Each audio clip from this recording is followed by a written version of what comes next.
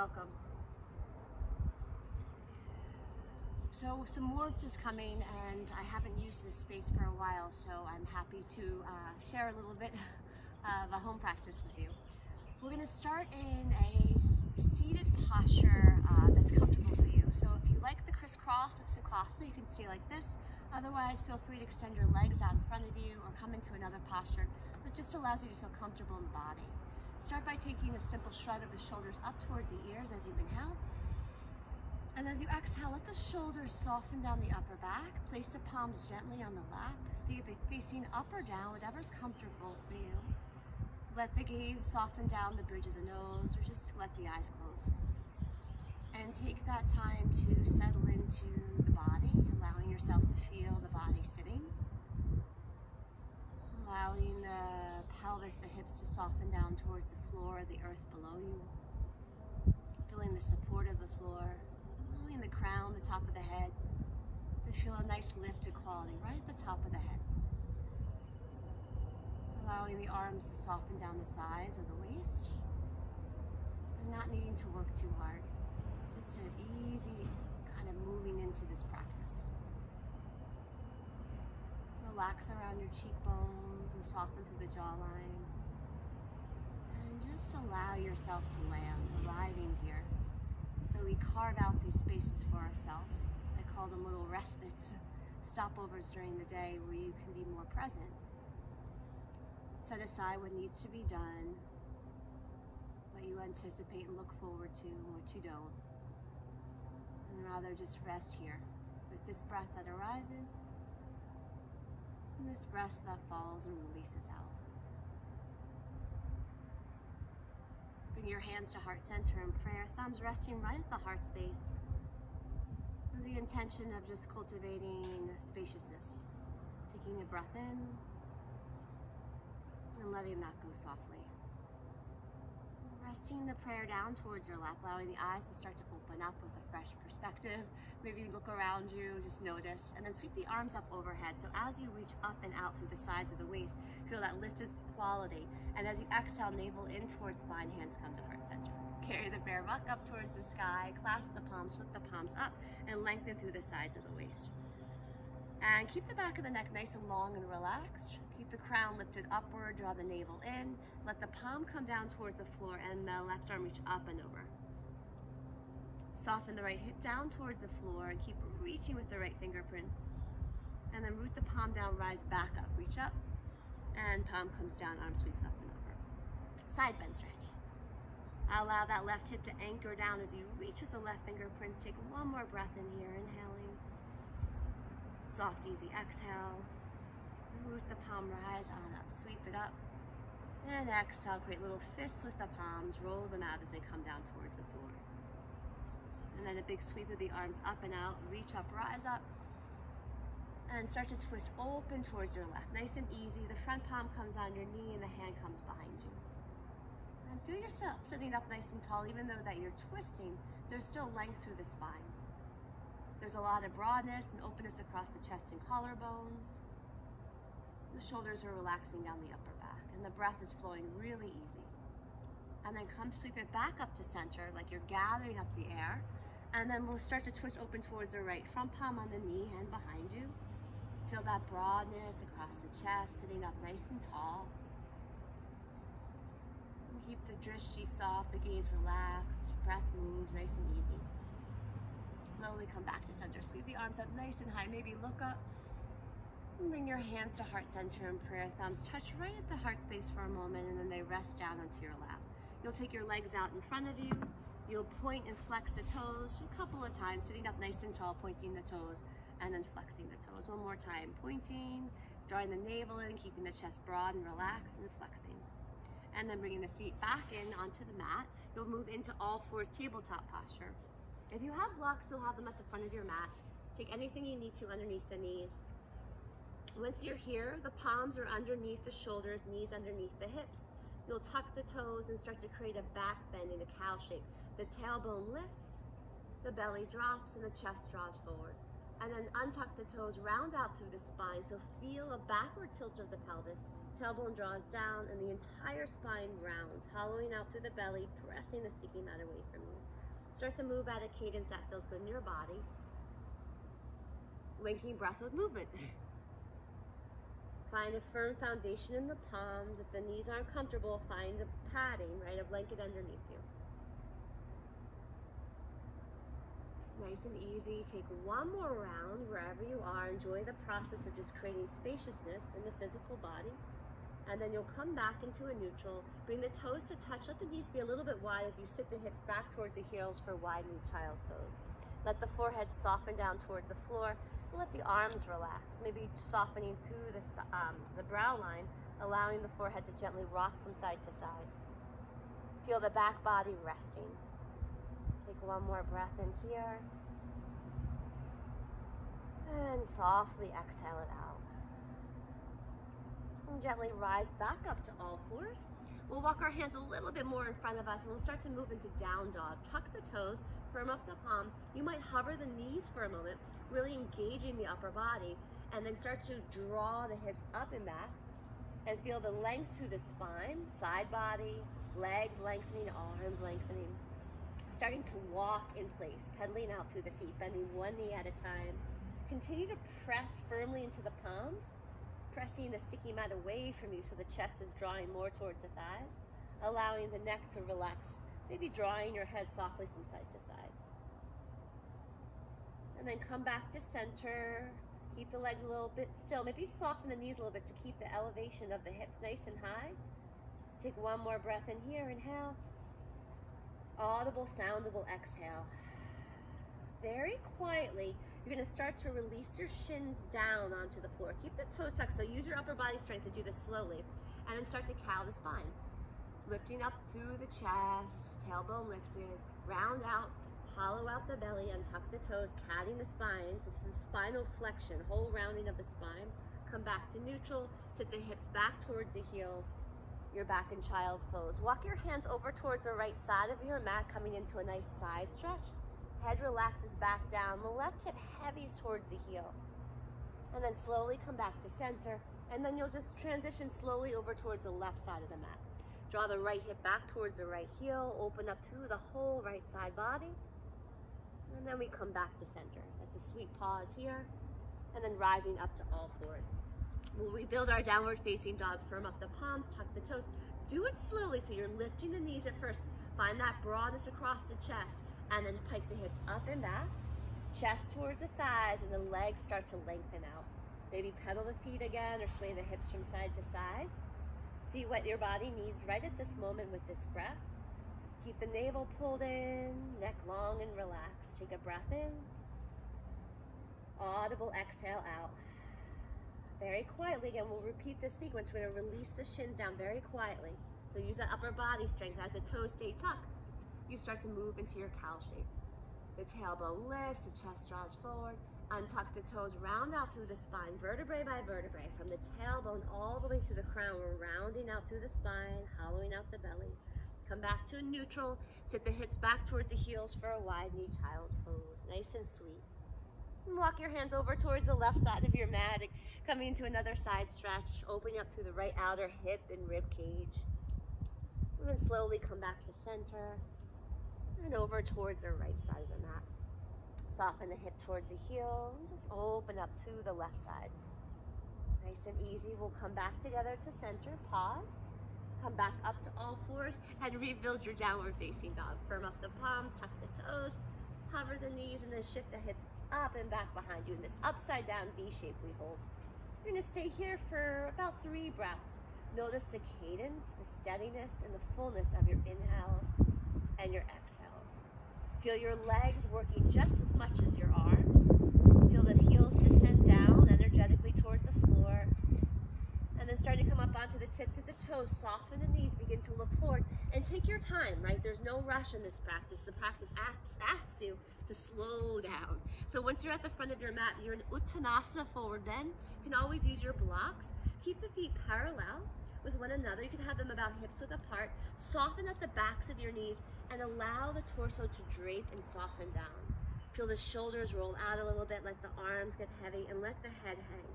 So really feel this hanging sensation, this draping sensation of the upper body, the torso, legs nice and engaged, feet deeply rooted into the floor. You'll feel your heels rooted, the big toe mounds, outer edge of the pinky toe mounds, all rooted and planted into the floor. We'll start to slowly come up to stand. So it's this vertebrae by vertebrae, arms furling the spine. Arms are heavy, head is the last thing to rise up. As you come up to stand, crown lifts upward and the arms sweep out and up for Urdhva Hastasana. So really reach and rise up. Gather the hands to heart center, pause in your Tadasana. Let the thumbs sit right at the heart space for a moment. Close the eyes for standing meditation, breathing in and breathing softly out. As the eyes open, we'll carry our prayer all the way up towards the sky. Clasp the palms, put the palms up, and maybe straighten out through the arms. Firm up the thighs, keep the feet planted into the floor. And as you exhale, arms out wide in a T, soften the knees, come all the way down towards the mat. Uttanasana, forward bend. Halfway as you inhale, getting nice and long through the torso. Press the thighs back, keep your gaze soft down towards the floor, and exhale, soften and release back down. Rise up to stand, sweep the arms out and up, Urdhva Hastasana, upward salute. As you exhale all the way down, arms out wide, soften the knees, come down towards the mat, relax through the back of the neck.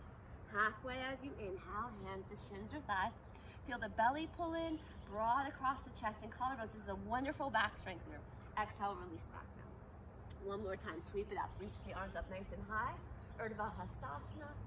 Exhale all the way down. Navel in, broad chest. Slow, controlled, graceful movements. Halfway as you inhale, taking your time, feeling your aliveness as you move. Exhale, release back down. You'll plant your palms and bend the knees. You'll lunge your right leg long back behind you. Once you're in your lunge, just establish that nice alignment where you have your knee and your ankle aligned with one another. Your hands are underneath your shoulders. Blocks might be nice to have, right? If they give you a little bit, elevate you a little bit more. Firm up thighs, lengthen through the torso and breathe. The next time you exhale, start to straighten out through the front leg for modified Parsvottanasana, pyramid pose. As you start to lengthen through that front leg, the head bows, so you're softening the spine, much like a cat shape. As you rebend, take your time. Let's set up for warrior one. Bring your left foot out towards the side of your mat a little bit. Carry your back right foot until it's planted down. Your back toes are facing more to two o'clock on the clock wall. Rise up to stand, bring your hands to your waist, straighten the front leg. Firm up your thighs, reach, reach the shin forward. So as the shin draws forward, arms rise up nice and high. Lift and rise. We'll do a little bit of a warrior one flow. So we'll straighten the front leg, arms come down by your sides, and move. Imagine you're moving through water. Fingers spreading out. Flip the palms up, bend that front knee, shin draws forward, firm up the back heel. Draw your right thigh just a little bit forward and then starting to straighten through the front leg, hands come by your side. So arms are out in this beautiful T position, like a warrior two. Rebend through the front knee, shin draws forward, hips descend down, back leg nice and active, arms rise up. And as you exhale, hands come down to frame the front foot. Re-run, re-lunge your back leg, so you're taking your time here. Keep your right palm underneath your right shoulder. Bring your left hand to hip, look forward beyond your mat, inhale. And as you exhale, start to turn open towards a twist. The left arm can float up towards the ceiling, towards the sky if that feels good. Continue to firm up your right palm on the floor. Feel a lot, very relaxed around the neck. You don't have to look up towards the sky. And as you exhale, look down towards the floor, palm comes down. So you're back in the lunge position. You can take it back to downward facing dog from here, or you can release the right shin down with the left to meet the right, and then transition back to down dog. See what's preferable for you. If you're coming into a vinyasa with me, coming forward on an inhale into plank position, hands are underneath. Your, your hands and your shoulders are aligned with one another, right? And then your shins come down towards the floor, untuck the toes draw the navel and we're coming down to modified chaturanga dandasana. So it's a bend at the elbows, but nothing else is changing, keeping the spine nice and long.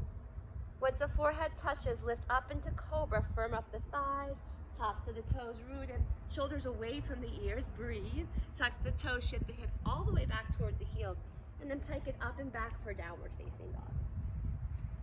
A breath or two here, just settling in. And then a nice walk to the front of the mat. Soften the knees, come onto the tips of the toes, and start to walk forward, Uttanasana. Rising up to stand, sweep the arms up nice and high. Reach it up, feel the lift through the ribs.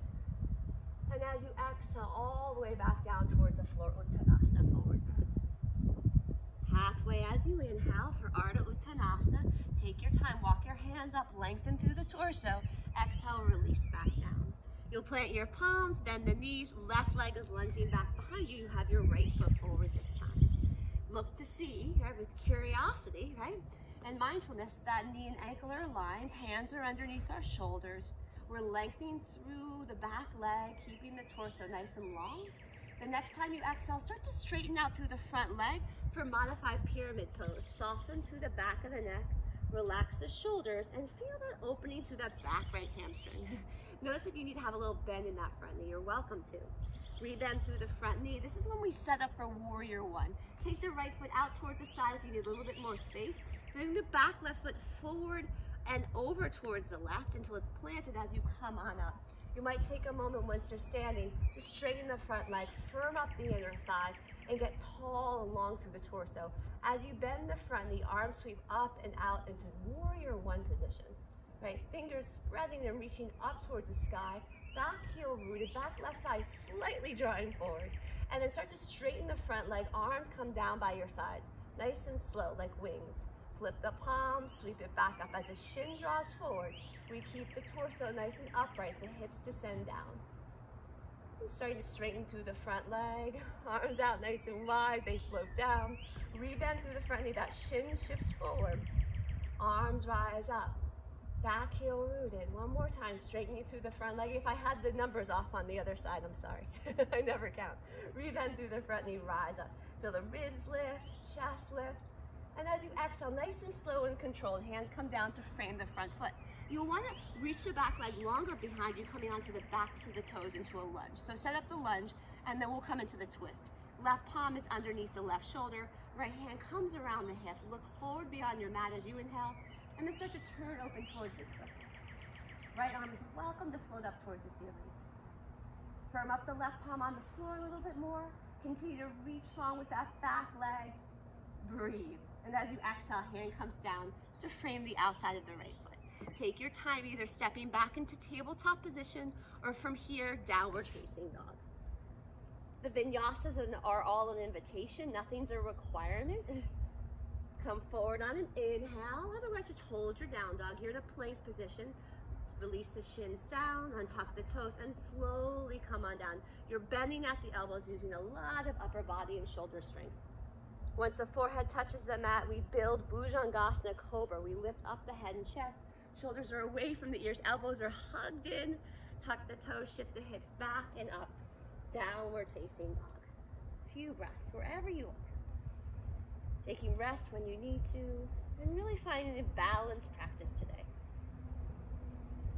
As many steps as you need, starting to walk forward. Uttanasana, forward bend. Slowly rising up to stand, big sweep of the arms out and up, reaching up, rising up.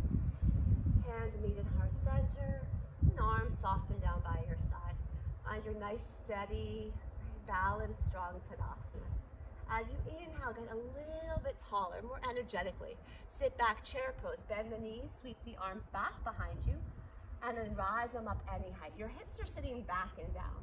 You maintain that length through the torso from your hip creases all the way up through the tops of the shoulders. You'll feel some engagement in the navel center, broadness across the chest, soft, easy gaze. Take a breath in, take a breath out. Stand up nice and tall, rise up nice and high. And as you exhale, all the way back down towards the mat, with Uttanasana forward bend, let it go. Halfway as you inhale, hands to shins or thighs, lengthen out through the torso. Exhale, soften the knees, let the head get heavy, Uttanasana. Plant the palms, bend the knees. Let's step back into plank position. Once you're in plank, you can decide what you'd like to do next. You can either take it back to down dog or move through a vinyasa, right? Slow and steady practice. So we're really watching what we're doing. If the knees are coming down, just bend at the elbows. Elbows draw by the sides of the rib cage, releasing the torso to the floor. Finding your back bend, lifting up into Cobra, Bhujangasana. Firm up your thighs. Feel the navel draw in, chest open and broad, and then come back into uh, child's pose, not down dog. Sit the hips towards the heels, relax through the forehead. Take a soft breath in, and a soft, easy breath out. When you're ready, we're gonna start to walk our hands up towards our thighs. Take a moment, good.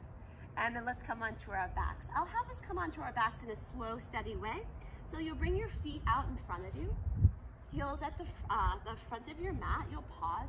You'll sit up nice and tall so that you're right underneath the sits bones, right? And we have that length through the spine. You can soften the knees. Draw the arms up, reach up, rise up, just like when we're standing in mountain pose and we reach the arms up. Draw the hands to heart center, pause, and then slowly, slowly start to roll down. So it's a backward tilt of the pelvis. The belly scoops and we slowly come down.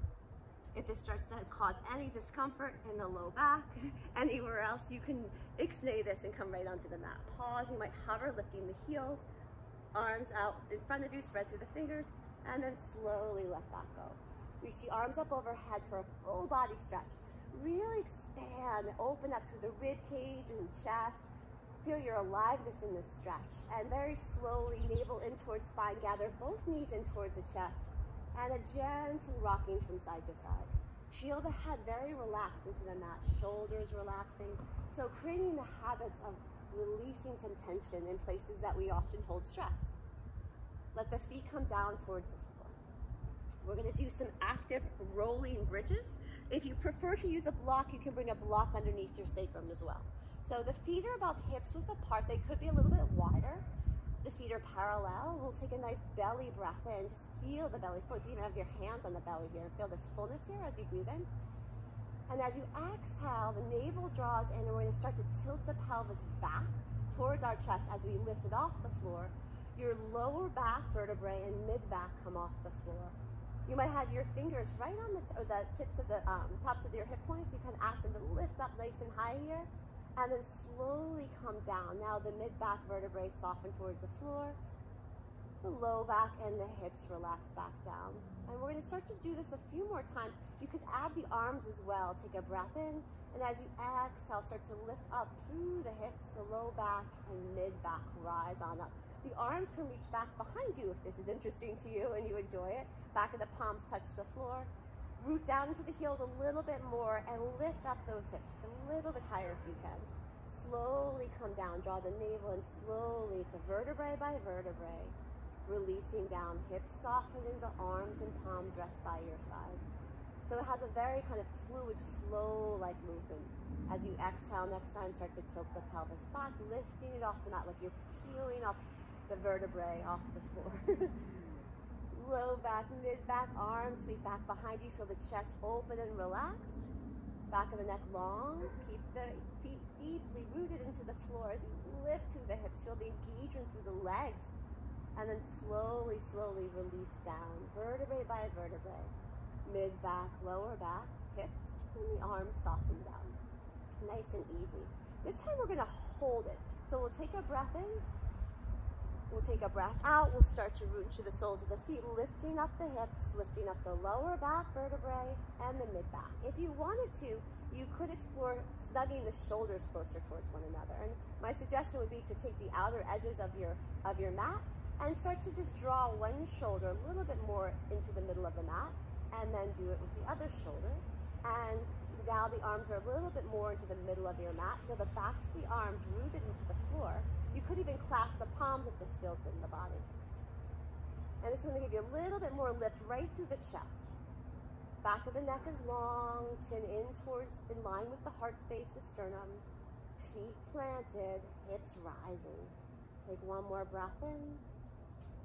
Feel the belly and ribs fill with breath, and then slowly, slowly, you're going to feel the shoulders kind of soften away from one another, the shoulder blades the mid back and the low back and the hips soften towards the floor. Ah. The feet separate the width of the mat, the knees come to touch gently, arms can come out in a beautiful T, and you'll let the knees sweep from side to side in this dynamic flow. Notice when the knees come over towards the right next time, you're on the outer blade of your right foot and the inner blade of your left. You're gonna really let gravity do its thing, just letting the hips soften down, little twist, a little rotation, and then you'll come back to center, knees touch, and they fall over towards the left, coming onto the outer blade of the left foot and inner blade of the right. Notice how relaxed the arms can be, the shoulders, the back of the neck, as you explore this gentle, you know, kind of dynamic swaying motion. Nice and easy. You'll hug the knees in towards the chest, gather them in. And happy baby, so knees out wide. Right feet rising up towards the sky. Hands behind the backs of the thighs to begin. Soften the knees out towards the side. So feel good. Look at your toes and just make sure that you have your toes slightly pitched out. Roll your ankles out, one direction, the other, rock from side to side, and then go ahead and walk your hands up towards your calves or maybe your feet if this is something that feels good in the body. Hips are softening down, chest is relaxed, back of the head is relaxed fully into the floor. And then slowly bring the knees back into center, lengthen the legs up towards the ceiling, up towards the sky, wherever you are. And let the arms come back behind you. Point the toes and flex the toes. Do that one more time, pointing and flexing. Hug the knees in towards the chest. Hands come around the shins. You might even lift up the head and shoulders rounding. And then slowly release the head down. Arms sweep back behind you. Legs elevate up, pointing the toes and flexing the toes. Slowly hug the knees in. Let the feet soften down towards the floor. And take your right ankle on top of your left thigh. Draw your right shin towards the front of your mat. Let yourself gently rock from side to side. And then if you want to lift up the left foot, draw the left knee in towards the chest as you continue to draw the right shin towards the front of your mat. A little swaying might be nice, little circles around the low back. Let yourself come back to being here, right? When the mind drifts, come back to breath, sensation, and then very gently, left foot comes down, right foot comes down, switching sides. Left outer ankle on top of right, drawing the left shin away from you. A gentle rock from side to side. Chest softening, shoulders softening. Hugging the right knee in towards the chest if you're inclined. See what your body needs. It's so different for each of us. And you're welcome to create little circles here. Rocking from side to side. When you're ready, both feet come down towards the floor. Full body stretch, reach out in all directions. And as you exhale, the arms soften down by your sides. And you can set up for a Shavasana. You're welcome to pause this taping so you have some additional time to rest in presence, allowing the body to recover restore from everything we do. Allowing the breath to have a softness to it, a fullness.